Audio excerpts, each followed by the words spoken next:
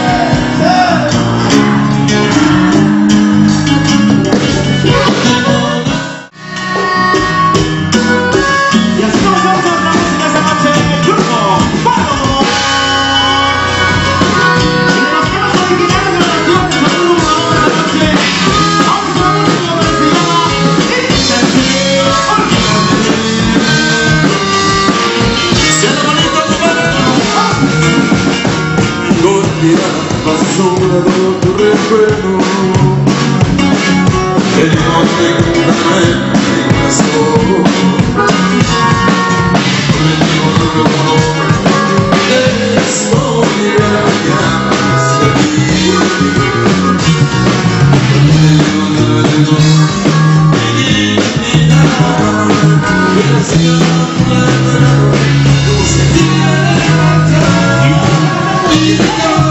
Thank you.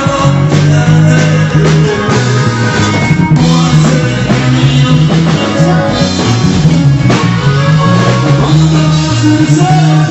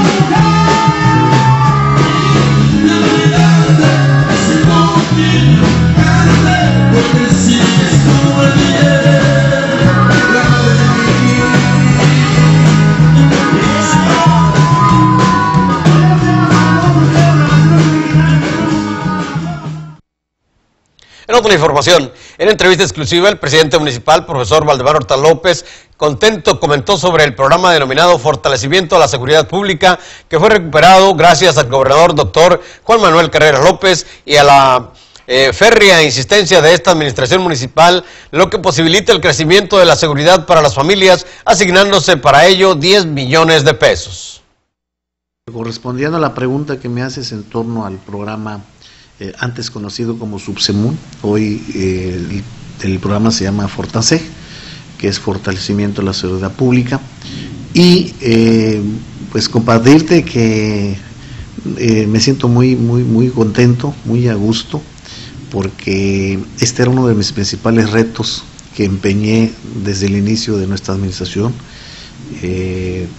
procurar recuperar este programa que me parece muy, muy, eh, un programa muy acertado por parte del, presidente de la República, porque es un programa que viene a fortalecer en gran parte, pues uno de los temas que yo creo eh, han sido de los más cuestionables que tenemos los gobernantes, que es el tema de la seguridad.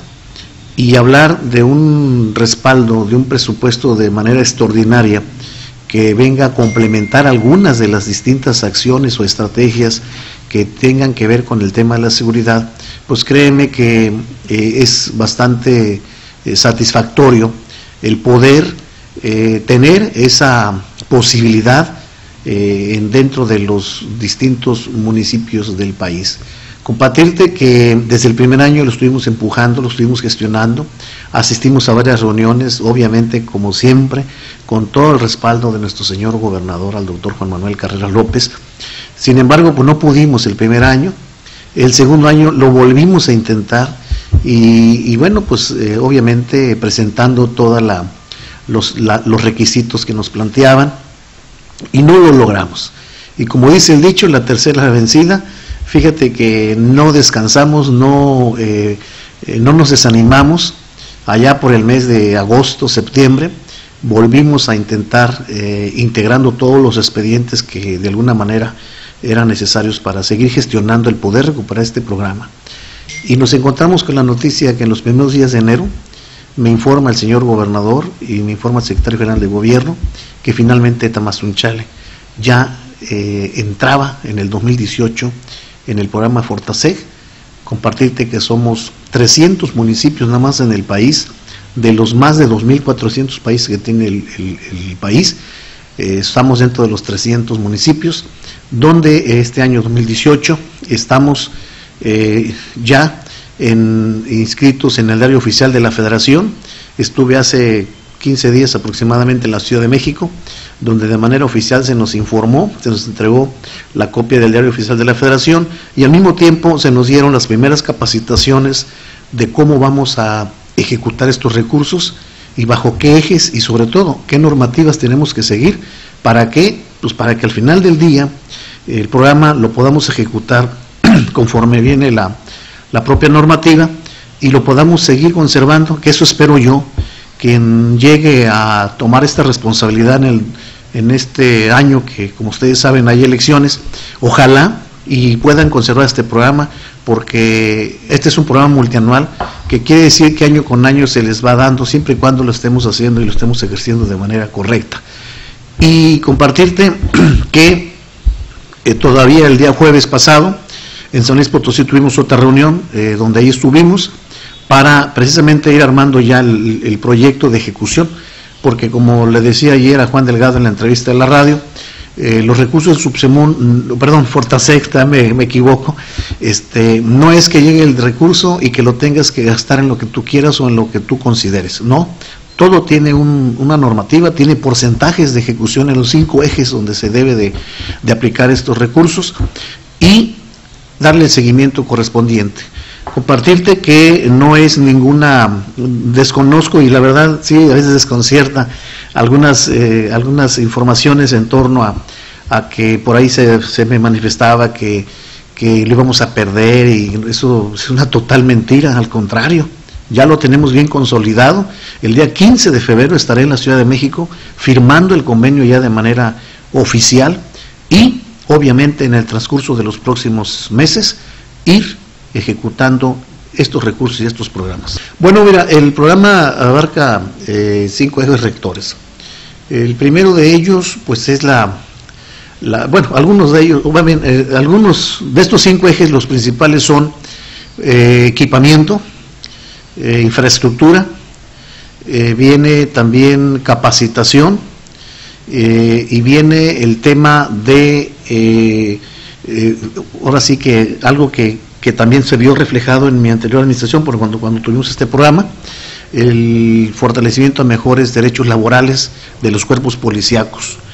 Y aparte, bueno, también en dentro de este eje viene la eh, capacitación y profesionalización de nuestros elementos de seguridad. Esto entra dentro del, equipamiento, es parte del proyecto que estamos, estamos en este momento, te diría, eh, el día 15 tenemos que entregar ya la programación y la planeación de este presupuesto, que son 10 millones de pesos, para que se puedan distribuir en estos ejes en ciertas proporciones de acuerdo a la normativa que nos marcan. Y dentro de esta proyección va precisamente lo que acabas de mencionar, Jaime, se van a colocar eh, cámaras audiovisuales en distintas partes de la cabecera municipal eh, para que estén monitoreando eh, las 24 horas qué está pasando y qué está transcurriendo en algunos espacios de la ciudad, sobre todo aquellos que son considerados lugares más vulnerables para el tema de la de, la inseguridad, ¿no? Este, pero no más para ahí, Jaime. O sea, aparte de esto, estas cámaras no van a estar para grabar lo que está pasando, sino se estarán monitoreando, como dije hace un momento, a través de un C4 municipal. Si ustedes han de recordar, en mi anterior administración construimos el edificio de seguridad pública del municipio, que desafortunadamente por las razones que ya conocemos, hay que decirlo como es, es un elefantito blanco que ahí está, pero que ahora gracias a este programa vamos a utilizarlo ya. Es decir, dentro de ese edificio tenemos una sala audiovisual que tendría unas características de un C4. Desde ese espacio se estarán precisamente monitoreando desde ese momento lo que suceda en algún lugar de la ciudad. Pero no nada más eso, Jaime. Este, este sistema tendrá una interlocución directa con el C4 del Estado y con la federación. Es decir, no nada más se va a estar viendo aquí, sino se estará eh, también este, reflejando a nivel Estado y a nivel federación lo que esté pasando en Tamazunchal. Bueno, pues eh, agradeciéndote la pregunta, Jaime, efectivamente, efectivamente, como tú mencionas, y yo soy de las personas que está convencido y sobre todo estoy consciente que los gobernantes del nivel que seamos, eh, efectivamente tenemos obligaciones constitucionales eh, que son importantes, desde los servicios que uno brinda a la población, hasta también, obviamente, la solución a las necesidades, a la falta de infraestructura de nuestras comunidades, de nuestra población, llámense electrificaciones, sistemas de agua, drenajes, calles, todo lo que sabemos que son obras. El presidente Valdemar Horta López reconoce el apoyo del cuerpo de regidores y síndicos al aprobar la realización del concurso y Feria Nacional del Guapango 2018, buscando conformar una cartelera artística de buen nivel y romper el récord de parejas participantes en el concurso nacional del Guapango, comentando además que serán gratuitos los juegos mecánicos para los niños y la casi seguridad de la presentación del Buki en esta tradicional y esperado evento. Agradecerle, por supuesto, al cuerpo de regidores, regidoras, a los síndicos, por habernos aprobado hace, hace unos días en sesión de Cabildo la realización del concurso nacional Guapango y también de la Feria Nacional Guapango 2018. Compartirte que efectivamente, como bien lo dices tú, a veces en nuestros conciudadanos hay dudas porque pues en otras administraciones, eh, normalmente en el tercer año de gobierno, eh, suspenden estos eventos yo te quiero compartir que desde el inicio de mi administración y obviamente en este último año hemos ido precisamente haciendo los esfuerzos y administrando eh, pues algún colchoncito para que cuando llegue en estos momentos pues tengamos la posibilidad financiera para, para brindarle a, nuestra, a nuestro pueblo pues su máximo evento tanto cultural como eh, artístico y como es la Feria Nacional Guapango y el Concurso Nacional Guapango. Esta se estará realizando del día, el día 23 y 24, se inicia el Concurso Nacional Guapango, donde esperemos romper el récord de hace un año en parejas que participaron, en estados y sobre todo en grupos eh, que se dedican a y que son apasionantes del guapango. esperemos que sea un éxito el concurso nacional como sea, ha sido hasta hoy. Y el día 24, de igual manera, Jaime, hasta el día primero de abril, eh, inicia ya lo que es la Feria Nacional Guapango con pues todo lo que hemos garantizado siempre. Los juegos gratis para los niños, eh, pues los espectáculos tanto de deporte como de otro tipo que hemos brindado en los días de la feria y obviamente un cartel artístico de calidad como se lo merecen los tamazunchalenses. Sé y estoy consciente que más de alguien nos critica y nos cuestiona, pero te quiero compartir Jaime que pues respetables por supuesto siempre esas opiniones, pero también debemos ser respetuosos de los gustos y de lo que otras personas también piensan que a veces no es lo mismo. Y yo te lo quiero decir y lo digo como debe de ser.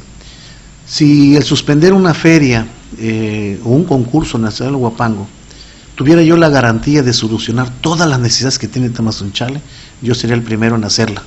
Pero el hacer una feria o no hacer una feria no quiere decir que vas a resolver toda la necesidad y toda la problemática que tiene el municipio. Y no podemos sacrificar unas cosas por otras. Yo creo que, como dije al principio, estamos también como gobernantes obligados a brindarle a la gente esos espacios de convivencia familiar, esos espacios de disfrute, ¿verdad?, que se tienen en torno a los niños, a los padres, a las familias, a los jóvenes, a la gente adulta. Y algo más, Jaime. Yo creo que si en su momento hiciéramos una sumatoria de los ingresos que llegan al, municipio en esas fechas, creo que se compensa. Se compensa en el sentido de que fortalecemos la economía de Tamazunchale. Y lo digo porque desde el taxista hasta la persona que vende raspas afuera de la feria está teniendo pues un respaldo financiero, como los hoteleros, los restauranteros, este, todo, todo, ¿no? Eh, yo creo que hay un movimiento importante y que se refleja precisamente también en economía para esas familias. Por eso vale la pena hacer el esfuerzo, vale la pena eh, cargar con todas esas críticas que a veces te hacen, esos cuestionamientos, pero vuelvo a insistir, si yo supiera que con esto voy a solucionar todo lo que tenemos de necesidades y de falta en Tamazunchale en torno a, infraestructura, en servicios, pues yo sería, el primero en, no hacer una feria, ¿no? Pero pues yo creo que eh, esas son circunstancias que tenemos que ir resolviendo conforme vayamos teniendo tiempos, eh, presupuestos, no todo es de la noche a la mañana. Y ahí estamos, Jaime, haciendo nuestro trabajo, haciendo nuestro esfuerzo. Yo espero que al final de esta administración finalmente podamos corresponder a la, a la mayoría de las expectativas de los tamazuchalenses. Va a ser igual, va a ser igual porque de esa forma es como podemos traer este tipo de espectáculos aquí a nuestro municipio. Obviamente, con el apoyo y respaldo del señor gobernador, el doctor Juan Manuel Carreras López, quien me ha apoyado. Ya estamos prácticamente en el cierre de, este, de, esta negociación en torno a que sería la misma empresa del año pasado, quien la verdad eh, nos dejó eh, con una, un muy buen sabor de boca. Y bueno, pues ya es una empresa conocida, que a veces no te creas, Jaime, también para uno es riesgoso, porque pues, ha pasado, ¿no? Y ha habido casos en que suspenden un artista un día antes, dos días antes, y la verdad yo creo que en ese sentido nosotros queremos seriedad, queremos este, responsabilidad, y qué mejor con una empresa con la que ya lo pudimos hacer. Estamos trabajando, este, sí, estoy consciente de que, como bien lo dices tú, ya estamos en, la antesala de los procesos políticos electorales, sin embargo, compartirte que en el caso nuestro, eh, ahorita nos ocupa el seguir correspondiendo a la confianza que nos dieron los tamazunchalenses, seguir, y lo, estoy, y lo estamos haciendo, seguramente por allá a través de los medios se, nos, informamos, que nosotros andamos obviamente iniciando obras, supervisando trabajos, gestionando recursos extraordinarios como el día de anoche llegué de la capital del estado donde seguimos trabajando y, la verdad vengo bien contento porque traemos eh, un muy buen convenio en el aspecto educativo, y también en, otros programas que daré a conocer en estos días. Este, y obviamente y seguir atendiendo a la gente como lo hemos estado haciendo, estar por supuesto ahorita como lo decías tú, eh, enfocados, ocupados en detallar el tema de la feria y pues la ley marca los tiempos, los partidos marcan sus eh, calendarios donde en su momento, eh, si así lo fuera en el caso nuestro, pues estaríamos valorando alguna posibilidad de poder eh, participar o al igual terminar nuestro gobierno eh, conforme eh, pasen los, días, las semanas y los meses. Pero insisto, hasta este momento todavía no, no tenemos nada definido, ¿sí? Y van a decir alguien, uy, ¿a poco no va a saber el profe Valde ya? Pues sí, aunque se parezca que no sea cierto, pero honestamente estamos ahorita a la espera de algunas pues algunos acuerdos seguramente de algunas, algunos planteamientos que los institutos políticos, sobre todo con los que participé en la última elección, que fue el Partido Revolución Institucional y el Partido Nueva Alianza, y después de eso, pues yo creo que ya seguirán, seguiremos viendo en, la mesa eh, qué es lo que se plantea, qué es lo que se proyecta, y vuelvo a insistir, si existiera alguna posibilidad en lo personal para su servidor, pues la estaremos valorando y la estaremos dando a conocer en su momento. Pues manifestarle a la ciudadanía de Tamazunchale que eh, estamos a ocho meses prácticamente de entregar esta responsabilidad. Eh, estamos ya prácticamente a unos días de conocer el presupuesto a ejercer el 2018, que lo vamos a hacer con toda la responsabilidad que nos ha caracterizado. Sabemos que tenemos obras que están en una primera etapa, segunda etapa. Vamos con las siguientes etapas Sabemos también que incluso en algunos lugares no hemos todavía iniciado una obra, sobre todo en las colonias, barrios de aquí de la cabecera, pues en este proceso que viene ahorita de presupuesto ya tenemos contemplado eh, casi su totalidad a, a, las colonias y barrios de la cabecera municipal. ¿Para qué? Para que, al final del día pues igual podamos corresponder a esa confianza que dieron hacia su servidor. Entonces, eh, estamos en este proceso ahorita. Yo espero que en el mes de febrero, a principios de marzo, estemos dando a conocer ya todas las obras y todas las acciones que eh, se estarán ejecutando en este año 2018. Llegó el momento de hacer una pausa, pero antes escuchemos estos mensajes comerciales. No le cambie, quédese con nosotros aquí en su noticiero Vivencia Informativa. Es importante celebrar el Día del Amor y la Amistad, compartiendo tiempo de calidad con los seres que queremos, haciendo crecer valores de comprensión, servicio y humildad. Feliz 14 de febrero. Les desea la Asociación de Reporteros de Telecables de San Luis Potosí.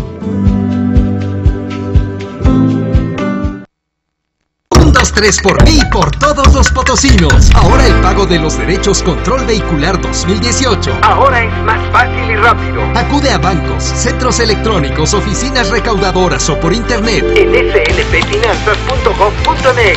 Recuerda que el plazo de pago regular vence el 31 de marzo. Control Vehicular 2018. Control Vehicular 2018. Secretaría de Finanzas de Gobierno del Estado. Con Fraiche, descubre tu fragancia, elige tu envase y resalta tu personalidad. Tenemos para ti productos de perfumería y cuidado personal, desarrollados con ingredientes de la más alta calidad, a un excelente precio. Llama al 01800-337-2424 y ubica tu tienda más cercana. Fraiche, perfumando a México. Llegó la hora de elegir una carrera conocer nuevos amigos y vivir una increíble experiencia llena de retos, diversión y aprendizaje de primer nivel. En el Instituto Tecnológico Superior de Tamazunchale te ofrecemos cuatro ingenierías con excelente proyección para trabajar en México y en el extranjero. Ingeniería ambiental. Resuelve los problemas ambientales que enfrenta nuestro planeta. Ingeniería industrial Aprende cómo optimizar al máximo los recursos de cualquier empresa. Ingeniería en gestión empresarial. Diseñas las estrategias de las compañías del mañana. Ingeniería en sistemas computacionales. Desarrolla los sistemas que deslumbrarán al mundo. Construye tu futuro con la mejor oferta educativa de la región, integrando actividades deportivas y culturales. Además, vive la experiencia de representar al tecnológico viajando a otras partes del mundo. Tú tienes el poder de elegir cómo quieres transformar al mundo. Instituto Tecnológico Superior de Tamazunchale. Decide tú. Decide Tech.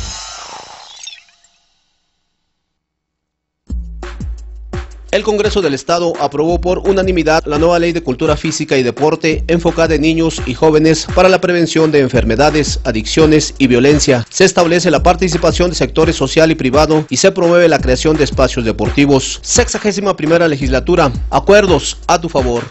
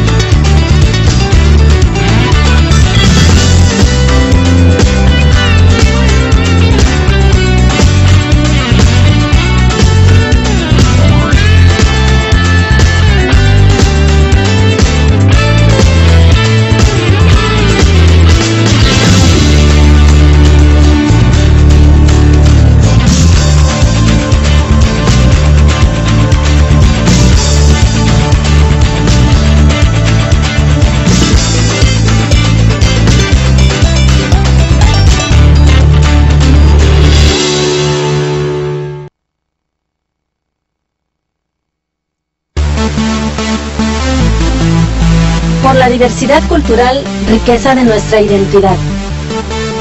La Universidad Intercultural de San Luis Potosí, Unidad Académica Tamazunchale, te invita a formar parte de nuestra familia estudiantil y cursar tus estudios de educación superior en las siguientes licenciaturas. Informática Administrativa, Derecho, Desarrollo Económico Regional. Contamos con instalaciones climatizadas, biblioteca, sala de medios, centro de cómputo con internet de fibra óptica, Wi-Fi de alta velocidad, comedor universitario, actividades curriculares y extracurriculares. Te ofrecemos seguro médico, becas de manutención, becas de transporte, becas institucionales, becas de titulación. El 98% de nuestra matrícula cuenta con al menos una beca. Para mayor información puedes visitarnos en nuestras instalaciones ubicadas en Avenida Hidalgo sin número en Mecatlán, Tamazunchale, San Luis Potosí o al teléfono 483 36 217 36. Te esperamos. Somos Universidad Intercultural de San Luis Potosí.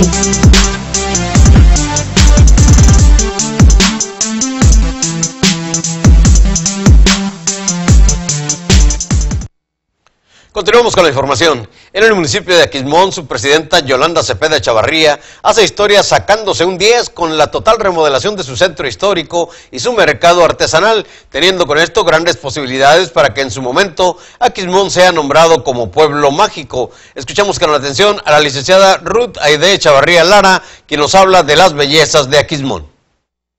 Como usted ya lo mencionó, se ve un gran cambio aquí en nuestro municipio, se ha invertido mucho, esta administración eh, ha invertido mucho en el, en el sector turístico, eh, yo creo, siempre, siempre lo he presumido así, somos el municipio con más destinos en la Huasteca, entonces tenemos que, que tener nuestra plaza, que es la primera imagen que tiene el turista de nuestra, de nuestra, pues de nuestro Aquismón, entonces pues sí, se ha invertido mucho eh, y pues cada vez tenemos más gente y cada vez tenemos que ponernos más las pilas. Bueno, esta rehabilitación de la plaza se hizo hace un año, fue una gestión que hizo nuestra presidenta ante la Secretaría de Turismo de Gobierno del Estado.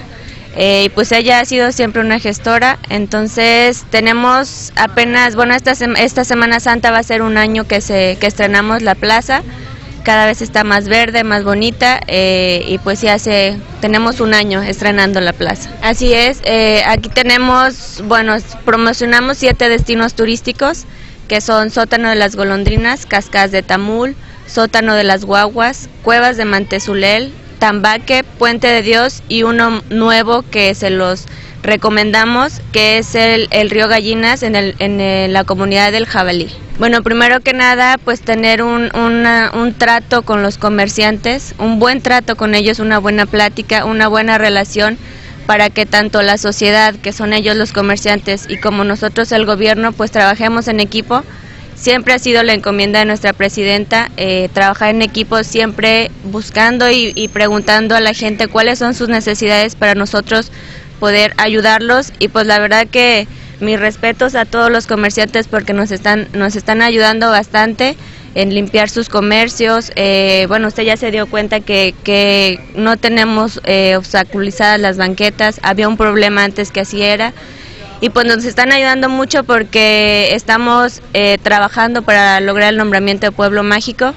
Entonces, eh, la verdad que sí, sí nos están ayudando bastante la sociedad y pues nosotros también por nuestro lado ahí pellizcándoles las costillas para que nos apoyen. Eh, ahorita todavía no tenemos un reglamento en específico para poder exigirles, pero como ya lo mencioné anteriormente, de buena manera ellos se han prestado a trabajar con nosotros y pues nos permitieron eh, rehabilitar las fachadas de sus comercios y, e instalar unos letreros de madera para que todo el primer cuadro de la plaza se viera uniforme, eh, se vieran todos con una sola imagen y, pues ahí vamos, nos falta todavía un poquito más, algunos detalles, este, pero, pero ahí vamos. Bueno, aquí nuestra máxima fiesta es en julio, es la Feria Regional de Santiago y Santana.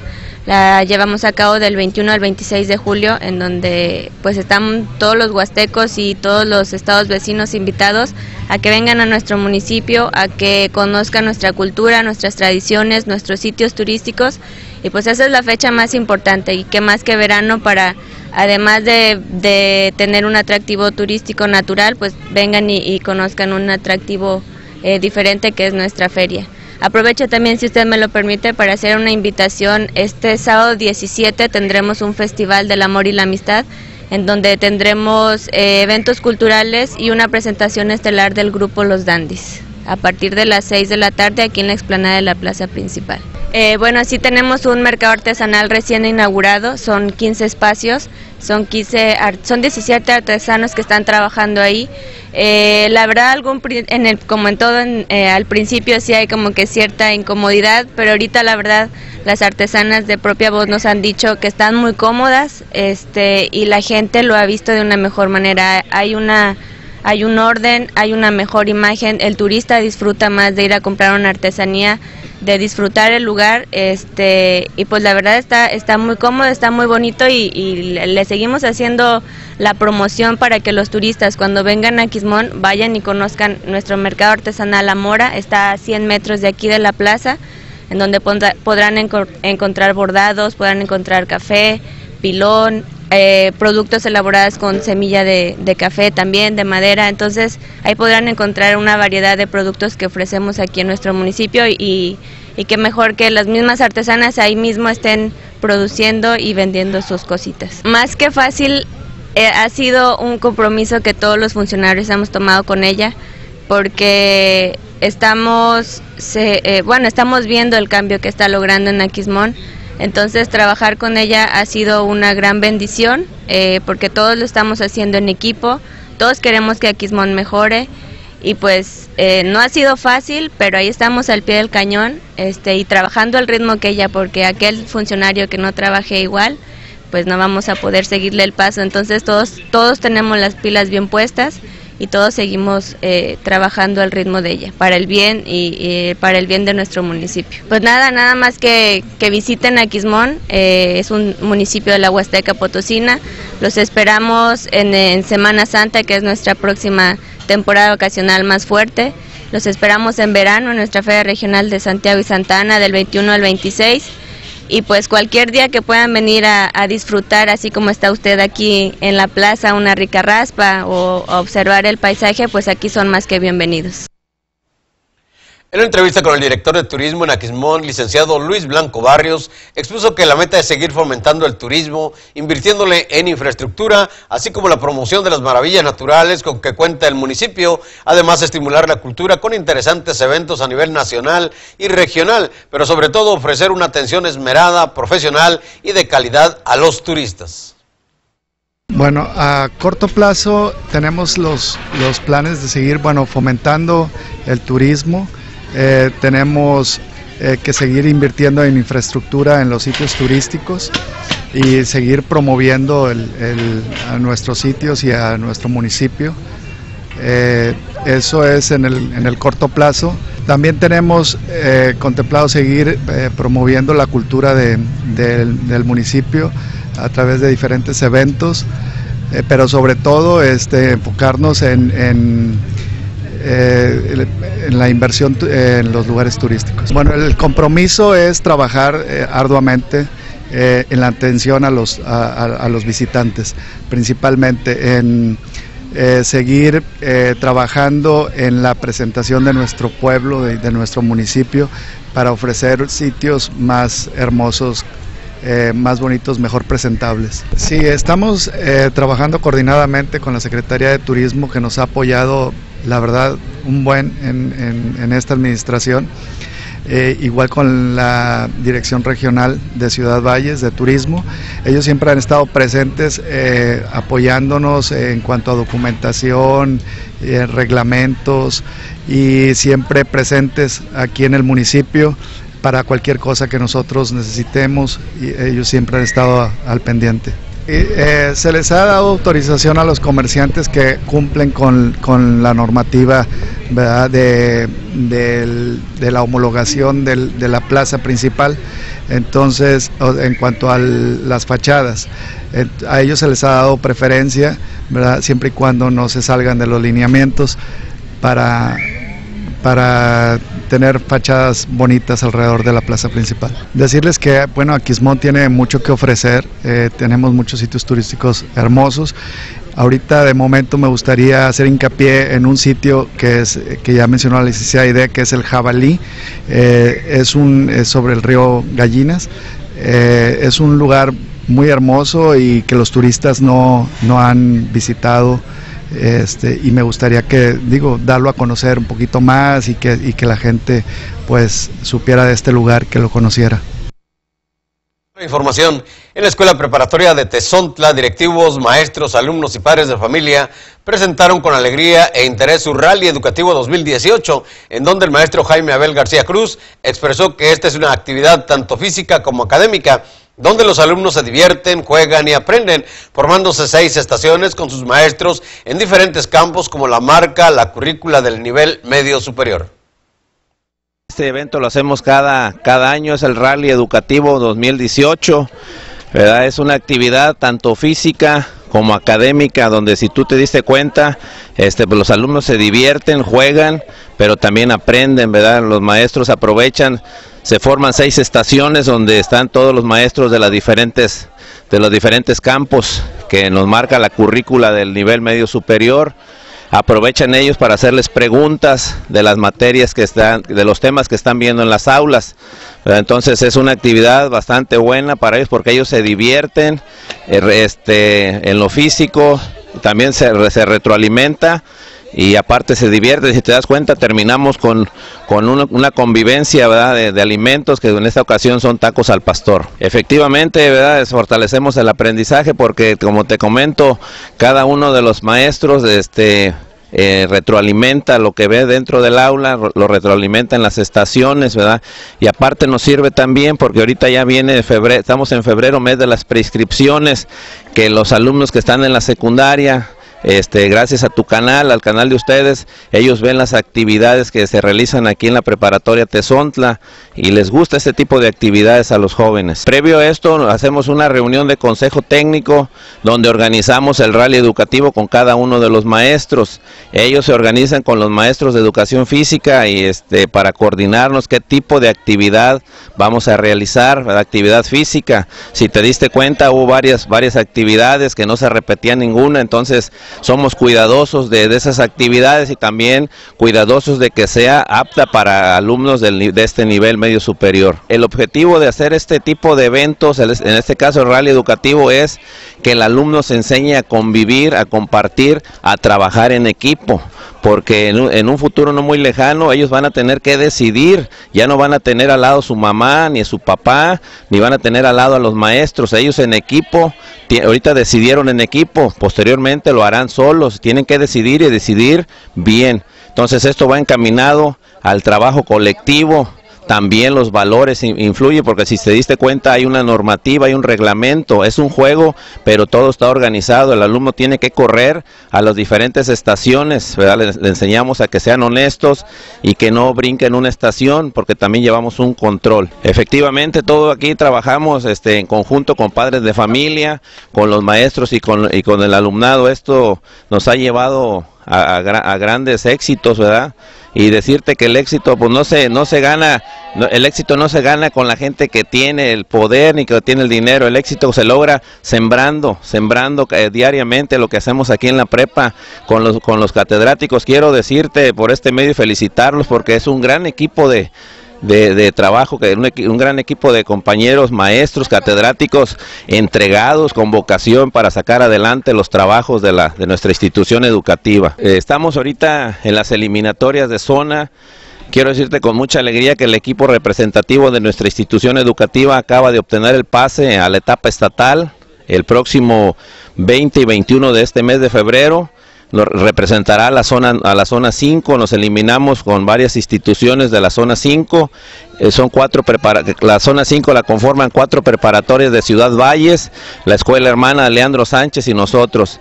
Entonces en básquetbol varonil pasamos y vamos a representar dignamente a nuestra zona escolar 05 en San Luis Potosí. Y, y también te informo que el próximo martes, el próximo martes, martes 6 de febrero, tenemos la eliminatoria de fútbol aquí en la Udeta a las 10 de la mañana.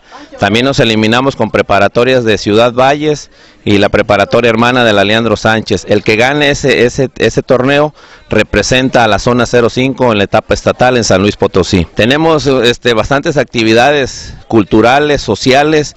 Eh, hago la invitación de una vez aquí por este medio, el próximo, próximo mes de marzo, el 16 para ser más exactos, viernes 16 de marzo, estamos festejando el 16 aniversario de la fundación de nuestra institución educativa preparatoria Tezontla, con un evento cultural que lo vamos a hacer en la plaza, en la plaza Juárez de Tamazunchales, San Luis Potosí, donde estamos invitando a todos los padres de familia, alumnado, y al público en general para que vaya a ver, van, la participación es meramente de los alumnos de esta institución, van a demostrar sus habilidades que tienen para el canto, para el baile, para tocar instrumentos musicales. Que nos da mucha pena, este, se nos llenan muy rápido las prescripciones, si te das cuenta, pues nada más tenemos cuatro aulas.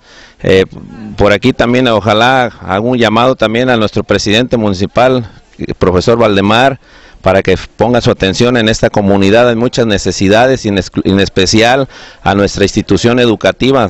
Carecemos de aulas, ¿verdad? Entonces, este, ojalá con la solicitud que ya se envió podamos todavía rescatar, aunque sea un aula para, para más captación de alumnos. No, pues agradecerles a, a la empresa Tamas Visión, siempre nos ha apoyado en transmitir todos los eventos, tanto deportivos, académicos, culturales, deportivos. Agradecerles, es una gran empresa que difunde, esto llega hasta Gilitla, hasta Matlapa, Tamán. Entonces, este, la gente se da cuenta de nuestras actividades. Sin ustedes no, no sabría la gente, los padres de familia y la sociedad que existe esta preparatoria y que estamos trabajando en bien de la juventud preparatoriana. Comunicación Social del Congreso del Estado de San Luis Potosí informa sobre las actividades y acciones legislativas de los diputados locales potosinos Esther Angélica Martínez Cárdenas, Gerardo Limón Montelongo, Gerardo Serrano Gaviño, Guillermina Morquecho Pasi, Héctor Bendizábal Pérez, Jorge Luis Díaz Salinas, Josefina Salazar Báez, Mariano Niño Martínez y Óscar Bautista Villegas. Un llamado pues a todos los alcaldes de San Luis Potosí para pues hacer un buen uso de los programas sociales no condicionar este, estos programas a, favor de un voto para cierta persona, para cierto partido, se debe ser institucional y, sobre todo cuidar los recursos, ¿no? que no hagan mal uso de ellos para apoyo a, ciertas campañas. Pero esperemos que, que le vayan ah, cambiando al, a lo que es el esquema de operación de las corporaciones y de las instituciones que les corresponde poner el orden en este sentido, ¿no? Pero sí es preocupante porque pues hay gente que con una en un ratito de la noche a la mañana se queda sin su patrimonio, pues el hecho de tener eh, tres, cuatro, cinco vaquitas ahí eh, ya no amanecen y, y los dejan sin, uh, sin, su, sin, su, actividad, los dejan en ceros y, volver a levantarse, como es difícil para una gente de escasos recursos que lo hacen con mucho esfuerzo y con mucho sacrificio. Pues bueno, lo que, lo que marca es eh, el compromiso que tiene el Congreso del Estado, los integrantes de esta legislatura, con el desarrollo social de San Luis Potosí. Y bueno, yo ahora esperamos que tanto el gobierno federal como el gobierno del Estado en esa materia, pues bueno, lo ejerzan transparentemente en las regiones donde más lo requieren, cumpliendo los requisitos, los polígonos que así marcan las leyes federales y locales, y que sea para bien de las y los potosinos, para ayudar a las familias más necesitadas, a quien más lo requiere y más lo necesita. En, en todos los planteles existe un protocolo eh, al cual todos los directivos y docentes deben de conocerlo. En, en este protocolo eh, se, se, prioriza, por, por, supuesto, la seguridad de la escuela. Eh, eso es, es, una recomendación que se le da a todos los directivos y docentes, padres de familia, eh, que muchas veces eh, echar a andar un protocolo a veces los padres no apoyan por la cuestión de que quieren entrar y salir a, la institución. La institución debe de quedar cerrada, protegida, y bueno, esa es una parte del protocolo eh, eh, de seguridad que debe de tener cada plantel. Son parte de las adecuaciones que, que hacen falta todavía. Eh, la ley de fiscalización que, bueno, pues eh, entró en vigor el año pasado, necesita rápidamente algunas correcciones y adecuaciones, eh, pues que, que, le den ahora sí que la vigencia necesaria. hemos hecho algunos, algunas modificaciones también que tienen que ver con los plazos para presentar las cuentas públicas. Creo que el despolitizar la fiscalización de recursos públicos es también un objetivo de la Comisión de Vigilancia. Eh, obviamente combatir la impunidad, pero eh, eh, desde el punto de vista, digamos que desde el propio trabajo técnico de la auditoría y no a través de eh, artimañas políticas. ¿no? Yo creo que primero está el trabajo que tenemos que hacer aquí y después son los partidos. Mira, desde la Junta de Coordinación Política estamos viendo cuáles son los más importantes y cuáles no se han sacado. Entonces ya estamos viendo con cada comisión donde están más atrasados para sacar todo el trabajo que tienen, que lo saquen adelante. Queremos ser la mejor legislatura de toda la República Mexicana. San Luis Potosí tiene que ir en el número uno a partir del, de enero del 2018, esta ya se vuelve obligatoria de manera este, eh, firme, es decir, que ya la CEIGAI va a poder hacer las revisiones del cumplimiento de las, de las mismas por parte de los entes obligados y ya va a tener las facultades para poder sancionar a aquellos ayuntamientos, aquellas este, dependencias de gobierno o los poderes que no estamos cumpliendo al 100% con la ley de transparencia. Pero es algo bueno, es algo que al final del día va precisamente para eso se hace, para que mejoremos nuestra calidad de tiempo de, en, en, en, los traslados y pues totalmente de, a favor ¿no? de, que, y, y de que esto se, se, vaya a realizar y, y obviamente pues que, que, las autoridades municipales, estatales estén al pendiente, eh, sobre todo las personas que se dedican al tema de, del, de las vías, de las vialidades, de, dar la mayor facilidad a los, a los usuarios. Yo hace algunos meses presenté a esta soberanía una iniciativa